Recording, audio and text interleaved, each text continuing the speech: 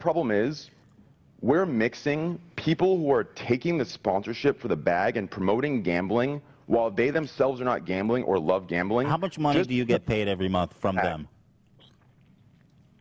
I get paid, I'd say, well, right now I'm down. Right how now much I'm how much do they pay you as a flat fee every month for fulfilling your contractual obligations to them? I'll probably get in trouble for releasing it, but I'll tell you a million, a million a month.